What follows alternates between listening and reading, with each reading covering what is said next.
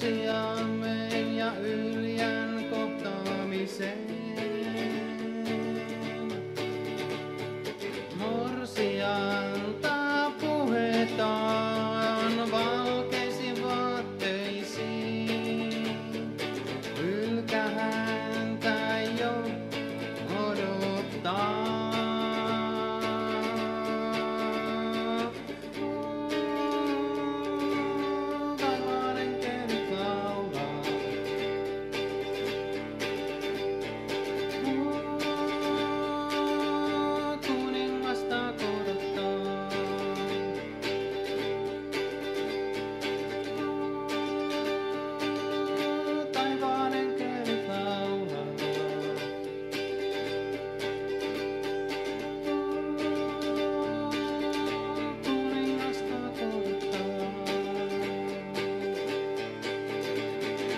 Valmistautuminen on jo käynnissä.